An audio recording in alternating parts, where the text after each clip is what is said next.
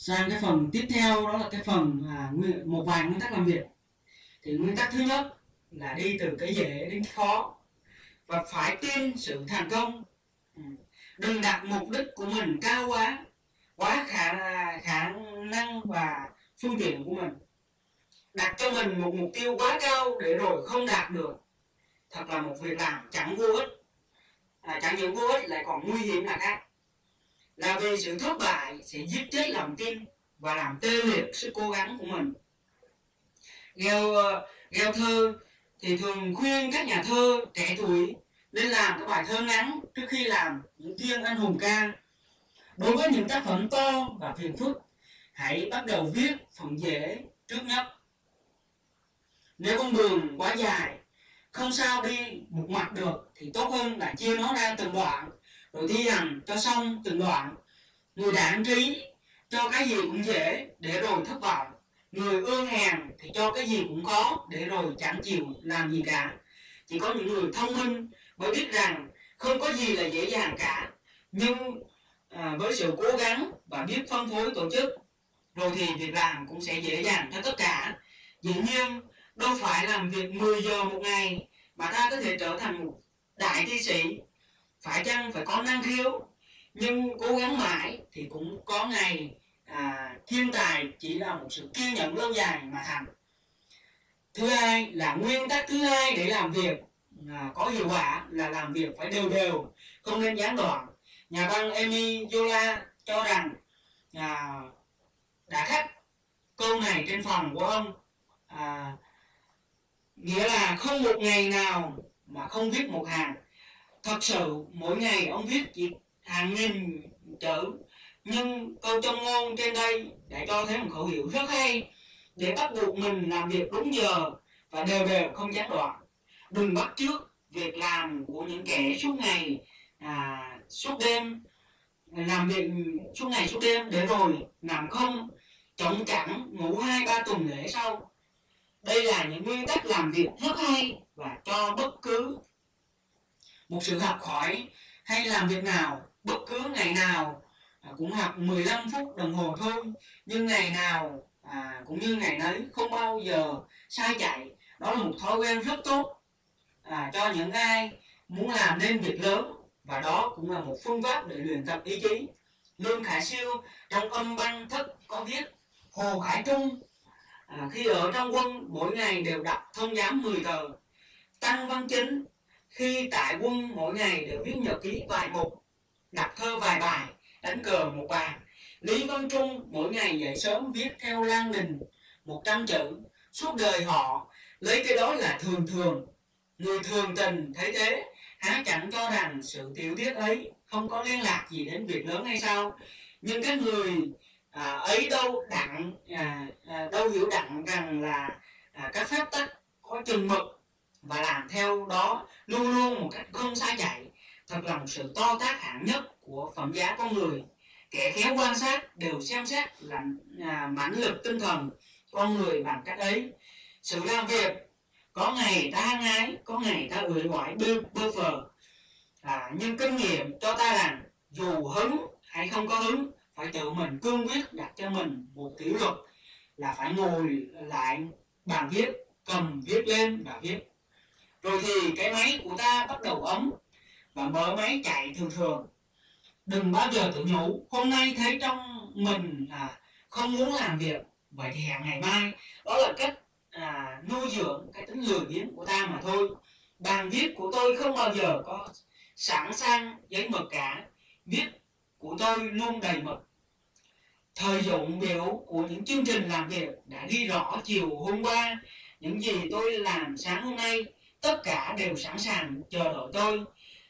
Chỉ chờ có tôi đến ngồi và làm là tất cả các guồng máy bắt đầu làm việc theo ý muốn.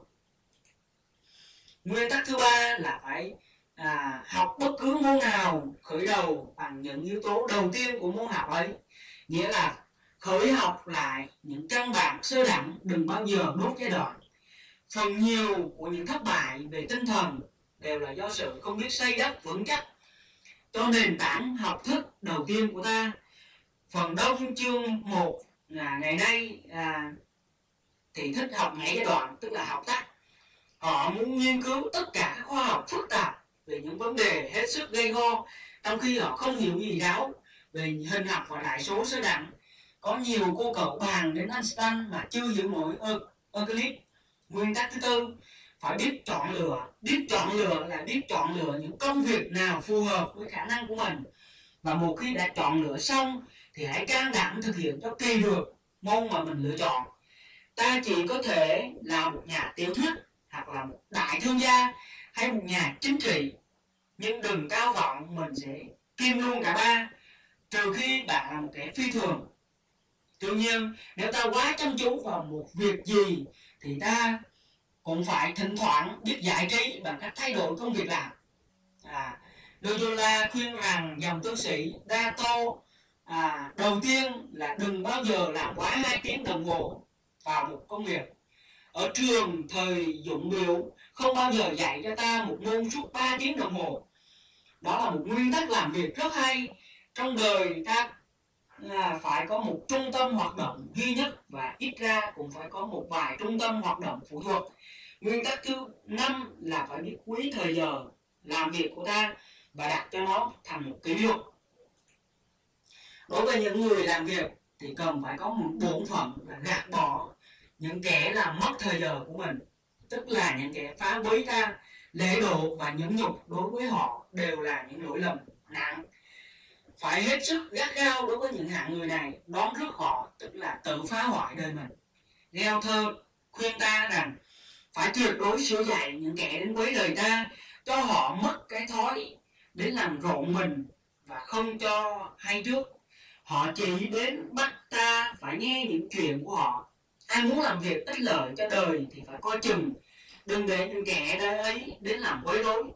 Khi gặp phải những trường hợp có những kẻ xông vào phòng ông làm việc một cách tràn tráo thì thi sĩ giữ một thái độ hết sức lạnh nhạt. À, và làm cho họ phải thất vọng ngay. Gelter đã chắp tay sau lưng không nói một tiếng nào cả. Nếu khách là một người danh giá thì Gelter chỉ làm mồ hôi hen và thỉnh thoảng hừ hừ cho qua thế là câu chuyện đứt ngang. Đối với một số thư từ thì thi sĩ chia làm hai loại. Thư xin xỏ cầu cảm thì ông liền ngay và xỏ rác chỉ những thư nào à, giúp ông có những cơ hội để tiến thêm thì ông mới chịu trả lời. Ông lại thường nói à thanh niên các anh không bao giờ biết đến giá trị của thời giờ. Andron và Mauroy à, vào năm 1939 à, Wheeler đã kể ra các cư xử có thể xem là tàn nhẫn thật.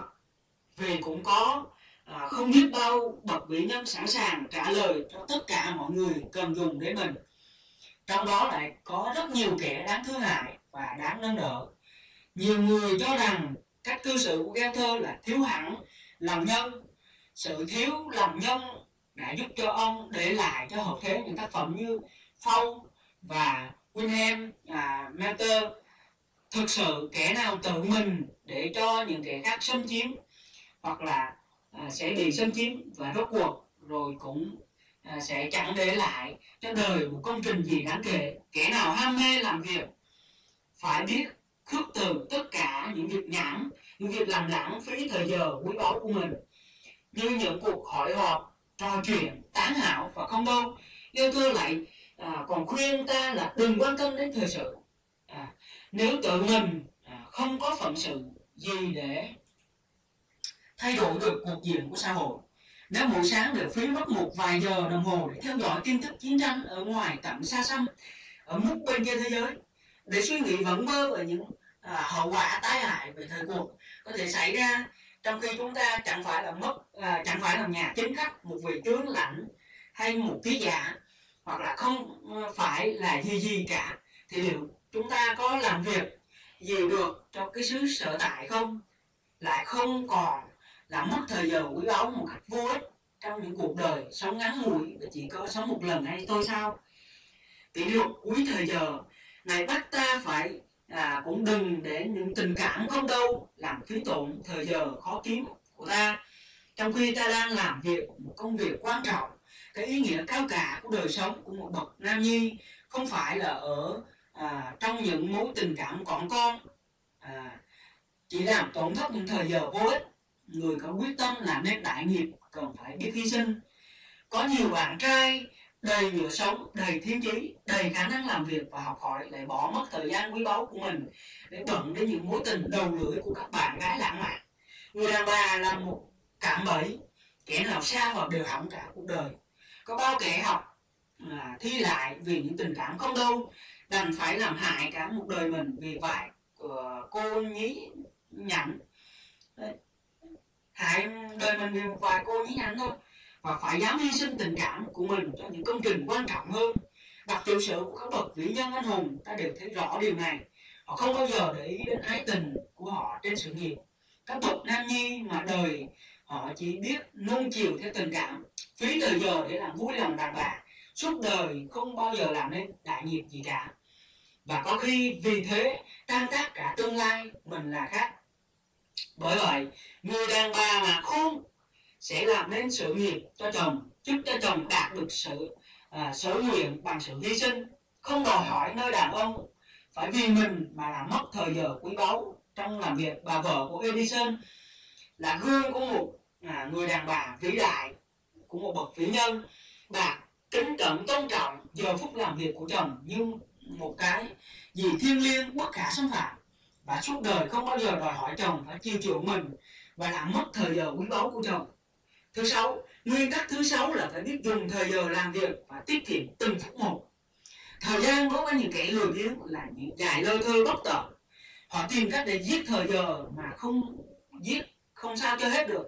Trái lại, đối với kẻ ham làm việc và học hỏi, thì ngày giờ rất eo hẹp vô cùng, giống như đời sống của bác can hay sự đi Jonah thì rất ngắn ngủi nhưng thật là phong phú lạ trái lại có những cuộc đời dài lơ thơ và vô vị khô khan như bãi sa mạc. Thời gian làm việc rất là ngắn nếu 60 năm là hạn thì mà à, phải trừ tuổi của ấu thơ rồi những giấc ngủ chỉ còn lại bao nhiêu năm? 30 năm là cùng.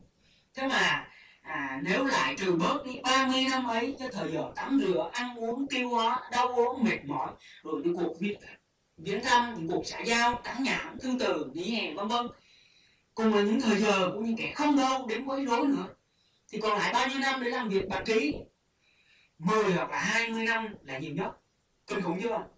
Những kẻ nghề nghiệp ràng buộc đầu tắt mặt tối dĩ nhiên không sao có thời giờ rảnh rỗi đối với họ. Đời sống trôi chảy một cách lạnh lùng à, tẻ nhạt. Và không bao giờ gọi là tư tưởng cả. Nhưng giả sử bạn là sinh viên bạn là người có phúc hơn nhiều và những việc ưu đãi vì bạn à, được có thời giờ để tự do làm việc và học hỏi bạn thử tính à, bạn thử tính ngày giờ làm việc thật của bạn được là bao? Nhất là những giờ mà bạn có thể làm việc. Thời giờ lo lo tự tìm từ điển à, chép bài nói chuyện khảo hoặc là đọc sách nhãn hay là nhật báo. Thời giờ làm việc của bạn à, thực sự có còn là bao? Giỏi lắm là 20 phút trong một giờ là cùng. Nhưng 20 phút ấy là để à, mà suy nghĩ nghiền ngẫm đem tất cả nghị lực vào việc làm không sao lãng trong thời gian 20 phút làm việc của ta trong một giờ ấy ta lại có thể để mất. Nó được không? Thiếu gì cơ hội bất thường mà làm cho ta sao lãng mà không phải ngưng công việc. Một con ruồi rớt trong bình mực à, của cơ hội à, ta bị sao lãng. Con mèo kêu trên mái nhà cánh cửa gió đập mạnh. Một chiếc xe hơi đậu lại trước nhà mà máy vẫn chạy. Đấy. đều là những cơ hội mà ta bị sao lãng trong khi đi tìm một chữ nào trong từ điển thì lại cũng có những kẻ bị quyến rũ hay liếc mắt ừ, mấy chữ kế bên. Hoặc là nếu một quyển từ điển mà có hình à, nhiều làm sao mà tránh khỏi sự sao lãng mà nhìn sang các hình bên cạnh rồi đến lượt những tờ báo đến nhà mình cũng phải ngưng đi một chút để xem à, các tiết có gì đâu chỉ mất vài phút thôi mà. Đó là những chưa nói đến những chuyện mơ mộng phiêu lưu của sự khêu gợi vài danh từ quen quen little lúc ban mai. Khi ông chờ những người phòng à, làm phòng làm xong công việc à, dọn dẹp thì ông viết vài tờ cái bộ à, tờ điển khổng lồ của ông có những phút đồng hồ à, kể là bỏ của những người biết tiết kiệm thời gian. Thời gian lại dùng đến để được làm những công trình to lớn. Ông à, a gâu sơ âu thay vì lời đà bất bình bà vợ có tính chậm chạp. Bác ông luôn phải luôn luôn phải chờ đợi những lúc ăn. Ông lợi dụng những phút chờ đợi đấy để viết quyển sách. Ngày kia ông đưa cho bà quyển sách đấy và nói đây là những món ăn đầu bữa của tôi đây. À, nguyên tắc thứ bảy làm việc là hễ làm việc gì thì làm cho hoàn tất. Đừng phải vì trở lại một lần thứ hai. Đó là những thói quen rất tốt cho tất cả mọi công việc. Chesterfield à, trong một bức thư gửi cho con có nói, không có gì dễ bằng miễn là chỉ nên làm một việc thôi và đừng bao giờ để qua ngày mai việc gì ta có thể làm ngay bây giờ. Việc gì cũng vậy hãy từ từ mà làm, đừng làm hối hả vụt chặt rồi làm một cách tách cách mà phải làm một cách đàng hoàng, dứt khoát với tất cả tâm hồn phải tập quen cái tính này. Không bao giờ chịu làm một việc gì mà làm cho có miễn cưỡng cẩu thả hoặc là làm lại một lần. Thứ hai khổng tử có nói học cho rộng học cho kỹ phân biệt sáng rõ làm cho hết sức. Có điều không học à, nhưng đã học những điều không hay không thôi. Có những điều không hỏi à, nhưng đã hỏi những điều mà không biết không thôi có điều không phân biệt à, biển nhưng đã phân biệt những điều không minh bạch không thôi. Có điều không nghĩ nhưng lại à, đã nghĩ những điều à, mà không nghĩ đến nơi không thôi. Có những điều không làm nhưng đã làm những điều mà chưa tận lực không thôi. Người ta dụng à, công một ta dụng công một mà không được thì phải dụng công gấp trăm. Người ta dụng công mười ta cũng dụng công gấp mười mà không thành. Thì phải dụng công gấp nghìn để đến cho kỳ được mới thôi. Nếu quả theo đạo ấy thì tuy ngu cũng thành sáng, yếu cũng thành mạnh. Trung dung. Nguyên tắc thứ 8 là muốn làm việc cho có hiệu quả thì phải có một sức khỏe dồi dào. Thân thể tráng kiện là điều kiện cốt yếu trong tinh thần sáng suốt. Bệnh hoạn là trở ngại to tác cho sự làm việc bằng trí óc. Tôi có một bản văn ngày nay đã thành người thiên cổ vì làm việc không nguyên tắc, không biết giữ gìn sức khỏe. Họ làm việc ban đêm với chè tàu rồi cà phê, thuốc lá à, thuốc lá. Sống trong những căn phòng tồi tàn, không đủ không khí vì vậy bệnh tật dấy lên và cướp đi mạng sống à, của họ trong lúc tuổi mới 30 tương lai đang đầy hứa hẹn. Có người à, bảo ba điều kiện để làm được thành công là gì? Tài hoa, sức khỏe và may mắn. Ấy là gẫm cũng trí lý à, Epicurus đã nói rằng thân thể không đau một tinh thần không loạn đó là điều chân hạnh phúc của con người. Thật vậy có được một tinh thần không loạn cũng nhờ được phần nào của một thân thể không đau ảnh hưởng đến sức khỏe đối với tính tình và tư tưởng của ta đâu phải là thường. Như vậy điều kiện đầu tiên của sự thành công là có được một thân thể tráng kiện. Và muốn được như thế dĩ nhiên là phải có đầy đủ những điều kiện sau đây. Ăn uống đầy đủ, bổ dưỡng, nhẹ nhàng, vận động thân thể vừa vừa, đừng nặng nặng nhọc lắm. Thường sống, ngoài trời có gió, có nắng, và nhất là có được giấc ngủ ngon lành, sự vui vẻ trong những liều thuốc bổ nhất. Giấc ngủ là quan trọng hơn hết, nhưng đừng ngủ thái quá, nhất là ngủ nước ngủ nhiều quá làm cho máu chạy chậm lại, làm cho cảm giác nhục à, cảm giác nhục lần và óc thông minh tinh nặng nề, uể oải nhưng ngủ vừa đủ lấy lại sức khỏe cần thiết. Và về ờ, số giờ phải ngủ à, thì không sao định được. Đó là tùy mua tùy công việc làm nặng nhẹ tùy sự mệt mỏi nhiều ít chính vì những nhu cầu ấy mà định đoạt à, tự định đoạt lấy nhưng nếu à, mình cảm thấy mất ngủ thì phải ngưng lập tức các công việc đang làm bằng trí óc phải ra ngoài chỗ thoáng khí sự mất ngủ, nếu không phải do dùng chất kích thích, thần kinh như rượu, trà hay cà phê, thì cũng dùng thuốc lá hay vì ăn quá no, thì đó là triệu chứng của sự làm việc quá độ. Khi ngủ lại được, thì mới bắt đầu làm à, việc lại. Những lo âu cũng là nguồn kích động, làm cho ta mất ngủ. Ngoài trời rộng, đi bắt bộ cho máu chạy mạnh sẽ rất có lợi cho sự trầm tư mặc tưởng nhà nhạc sĩ đại tài Beethoven thường thích lưu động ngoài đồng ruộng trong khi à, tôi đi thì đầu óc làm việc mãnh liệt. Status New thuộc lại phần lớn quyển sách Logiwe. Ông đã nghiền ngẫm trong lúc đi làm việc à, đi làm việc. Mà phải đi bắt bộ đến sở làm việc ban đêm thì đừng bao giờ quá khuya. 10 giờ là phải ngưng làm việc không có giờ nguy hại mà tiêu pha sức khỏe của mình trong cái tiệm nước là rạp cine những giờ nghỉ thì cần phải tiêu khiển ngoài cần tìm tiêu khiển ngoài trời tốt hơn. Nhưng cũng đừng quá phung phí sức khỏe của mình trong các cuộc thể thao quá sức mệt nhọc. Kết luận người học thức tức là người thà biết à, mà thật biết những điều mình biết còn những gì mình không biết thì à, cũng biết rõ là mình không biết. Không có sự dốt ngán nhục nhã bằng sự tin tưởng rằng mình đã biết trong khi mình chưa biết. Văn hóa là một vấn đề thuộc phẩm chứ không phải là lượng. Tuy nhiên cách biết rộng càng hay càng biết sâu thì càng quý. Cái học về bề rộng mà kém về bề sâu là cái học nông độ phù phiếm. Một cái học về bề sâu nhưng lại kém bề rộng là cái học câu chấp hẹp hòi cả hai đều thiếu sót cả. Có được một sự rộng rãi thì tránh được nạn thiên kiến chấp nhất. Có được một cái học chuyên môn thì của người học mới biến thành thực dụng. Điều hòa được cả hai lối học ấy thì thực hiện được cái cao nhất của công trình văn hóa của mình. Đọc sách và biết đọc rất cần.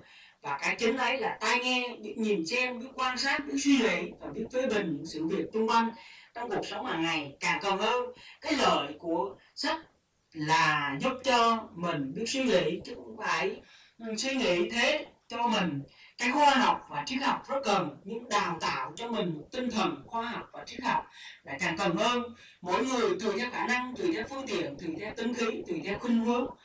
Phải biết tự mình tìm đến một phương pháp thích ứng cho riêng mình. Thật vậy sở dĩ không ai giúp được là cả, là ừ, ai cả là vì không ai giống ai cả.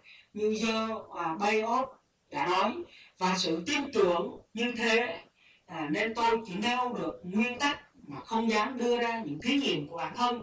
Tôi lại còn muốn nói thêm không ai bắt chước được ai được vì không ai giống ai cả. Scott Rotter đã nói chí lý tôi không dạy được ai cả tôi chỉ khêu gợi mà thôi. Học cũng giống như ăn tức là cần thiết cho tất cả mọi người. À, tuy cần thiết cho tất cả mọi người nhưng không phải món ăn nào cũng hợp cho tất cả mọi người có kẻ ăn mau tiêu có người ăn lâu tiêu. Sức tiêu hóa của mỗi người là mỗi khác. Lớn thì ăn khác nhỏ thì lại ăn khác mạnh thì ăn khác đâu là ăn khác. Ở xứ nóng ở xứ lạnh ăn khác. Có người phương pháp học lợi cho người này nhưng lại không lợi cho người kia. Ai cũng đã từng đi à, dạy học đều biết rằng phương pháp dạy phải tùy hướng cá nhân mà áp dụng. Nhà giáo dục phải như nhà trồng cây cho nên phương tây đã dùng chữ curator để chỉ về văn hóa. Mỗi loại cây đều có những nhu cầu khác nhau cần sự trông nom và chăm sóc đều khác nhau. Nói cho dễ, nhưng làm được bấy nhiêu thôi, đâu phải cho dễ. Trị dị hành nan hay tri nan hành dị theo tôi, cả hai đều khó cả. Học đâu phải vì công việc của một thời kỳ cắp sách đến trường, thập niên đăng hỏa mà thực ra đó là công phu được thực hiện suốt cả đời người học là vấn đề không biết lúc nào là cùng sống giờ nào còn phải học giờ nấy. Nhưng học không, mà không hóa ra thì có hại cho tinh thần. Cũng như ăn mà không tiêu thì có hại cho sức khỏe. Người có học thức đã thuần hóa được cái học của mình. Bởi vậy, học mà à, đến mức gần như quên cả sách vở của mình đã học học cái học ấy được gọi là cái học tinh nghĩa thập thuần thập thần.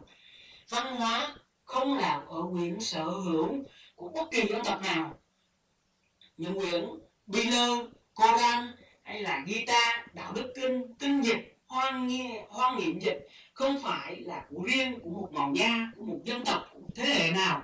Đó là kho tàng chung của nhân loại và là văn hóa cao không phải là của riêng một màu da của một dân tộc của thế hệ nào cả mà là của một người đã hoàn toàn hoàn thành sứ mạng của con người à, trong nhân loại lời hay ý đẹp nhìn lên trên cao học rộng hơn nữa tinh thế vượt cao lên mãi mãi bao tư hãy là ngọn đèn trong căn phòng thấp. Nếu không thể là ngôi sao giữa khoảng trời cao à, top bao. Và điều mà tôi biết chắc hơn hết là à, tôi không biết gì cả. À, Scout Router và có ba thứ dốt không biết những gì mình phải biết. Không biết rằng những gì mình biết không biết à, gì mình không nên biết. Từ sự không có văn hóa đến lòng thiên mê à, thiên chốc mê tín chỉ có một bước mà thôi. Đấy đấy là bao đo, bao đôi à, óc hẹp hòi của những đầu óc không thể thưởng thức nổi những gì mà mình ưa thích. À, Chandler đem những gì mình ưa thích để chống lại những gì mình à, à, không ưa thích là căn bệnh trầm trọng nhất của tâm hồn. Đấy là toàn bộ cái chương thứ 8 của cuốn sách tôi tự học đấy. rất ý nghĩa mà bạn cần phải tìm hiểu và đọc nghiêng ngẫm.